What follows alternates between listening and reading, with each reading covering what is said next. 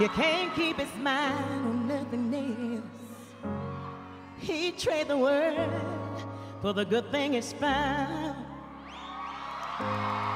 And if she's bad, he can't see it.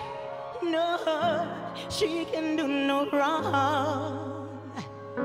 He turned his back on his best friend if he puts her down. Yes, a man a woman. He'll give her everything he's got.